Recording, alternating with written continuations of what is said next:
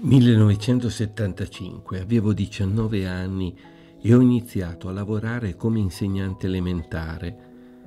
Dopo due anni, 1977, ho avuto l'occasione, l'opportunità di iniziare un'esperienza che è diventata di lavoro e vita, un sotterraneo di una scuola.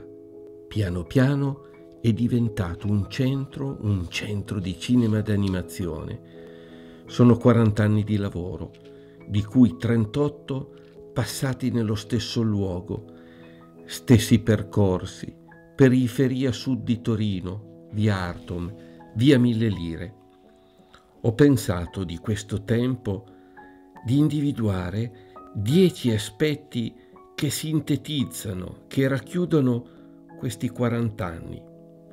Il primo è proprio l'affermazione che il mio lavoro è stato e continua a essere anche la mia vita, tanto da non riuscire a tracciare, separare in modo evidente lavoro, vita, vita e lavoro. Anche perché ho scelto di abitare in questo territorio, di viverlo come impegno sociale, Qui mi sono sposato, qui ho costruito la mia famiglia. Un secondo aspetto è il divenire. Ho iniziato con la fotografia, le diapositive, i diatape, poi il cinema, soprattutto il cinema d'animazione con la pellicola Super 8, 16 mm e poi il passaggio al nastro magnetico, il VHS o il tre quarti e poi l'era del digitale. Questi cambiamenti sono coincisi anche con i cambiamenti del quartiere, con i cambiamenti della mia famiglia. I miei figli sono nati nel VHS. Ogni fase ha portato dei cambiamenti, delle esperienze originali. Ogni cambiamento ha segnato la fine di qualcosa, ma anche l'inizio di un altro. Il divenire del mio lavoro continua a farmi pensare al domani, al futuro. Ogni film finisce, ogni racconto ha un termine, ma contemporaneamente non si smette di fare altri film, di fare altri racconti.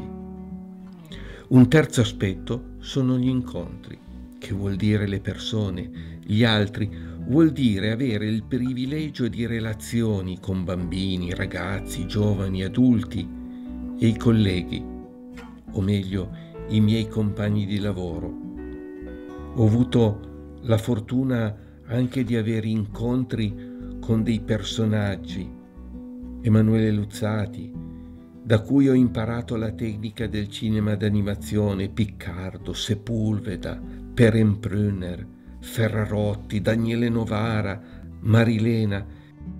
E poi Andrea che ci ha aperto con i giovani a una dimensione europea e internazionale. E tanti tanti altri. E da tutti, anche da quelli che non ricordo il nome, ho imparato e soprattutto vissuto pezzi o pezzettini, minuti o ore o giorni o anche anni.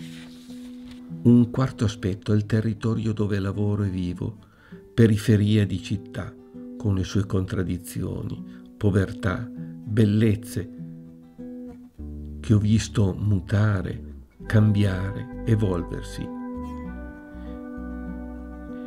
che mi ha dato una prospettiva di vedere e vivere le cose non dall'alto, ma con una visione dal passo, e poi il fare, la manualità, il cacciavite. In un laboratorio come in famiglia c'è sempre qualcosa che si rompe, che bisogna aggiustare. Il laboratorio è una dimensione dove tocchi, pasticci, costruisci, disfi, rifai, inventi. Spesso mi piace più che la definizione di insegnante che mi fa venire in mente il trasmettitore di sapere, quella dell'artigiano dell'educazione. 40 anni sono stati anche 40 anni d'ascolto. Con il passare degli anni ho imparato di più a fare silenzio, perché con il silenzio è più facile ascoltare i bisogni delle persone, i bisogni di un quartiere che cambia, che si trasforma. Altra parola chiave, la felicità, lo star bene. Ogni volta che con una classe si inizia un film diciamo che la cosa più importante è fare una buona esperienza, divertirsi, migliorare i nostri rapporti e così è più facile anche imparare. In tanti anni ho usato il lavoro per vivere bene, per valorizzarmi e questo non solo con i tanti premi e riconoscimenti avuti, ma ad esempio in autunno vesto i panni del castagnaro con i bambini e riesco a vivere la magia del movimento delle lingue del fuoco, del rumore del legno che brucia, del crepitio delle castagne.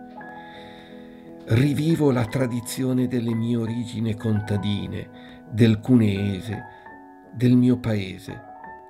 E tutto questo lo mescolo con il cinema, tanto da essere riuscito a fare anche un film d'animazione dal titolo Cinema in Castagna.